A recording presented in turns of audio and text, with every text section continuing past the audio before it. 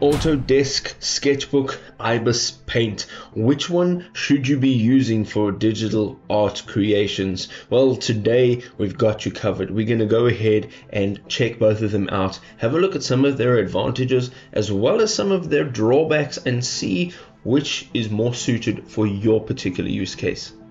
Let's get into it.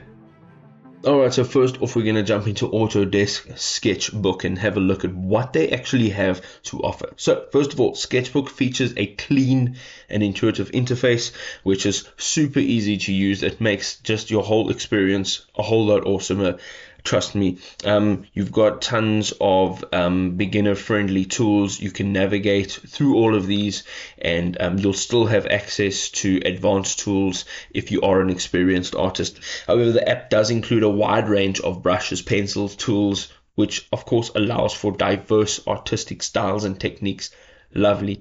You can also create artwork on high resolution canvases, making it suitable for professional work and print quality designs if that's what you're looking for. Sketchbook is also designed to mimic traditional drawing, which provides smooth strokes and responsive performance, especially with a stylus input. It's also available on multiple platforms, including Windows, Mac OS, iOS, and even Android. And it allows artists to work on their projects when they want to, wherever they want to.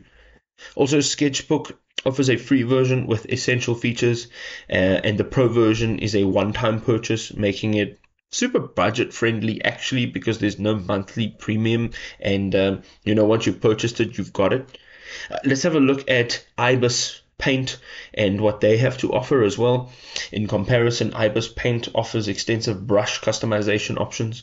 This allows you to create unique brushes tailored to your specific needs. That's awesome, just like you would you know, with an actual brush. The app also supports multiple layers with various blending modes, enabling complex compositions and more detailed artwork. Also, IBIS Paint has a built-in community where users can share their artwork and you can too share your artwork. You can share tutorials, uh, techniques, and this just generally fosters a supportive environment for artists alike. The app also includes features for creating more simple animations, expanding the creative possibilities for any types of users. IBIS Paint also provides a free version supported by ads, which can be removed with a one time purchase, making it accessible for your more casual user. Also, it is designed specifically for mobile devices.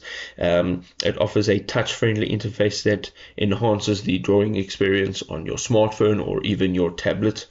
Let's have a look, however, at one or two of the drawbacks of each one of these uh, platforms.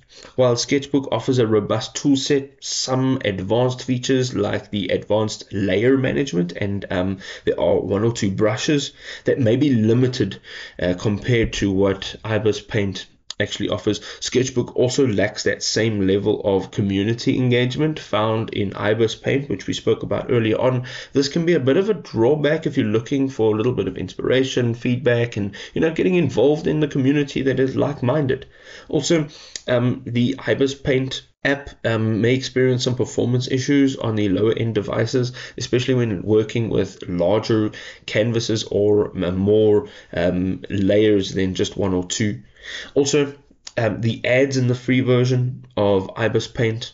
Um, it can be a little bit distracting if you're trying to focus on your artwork and you're just trying to do your thing.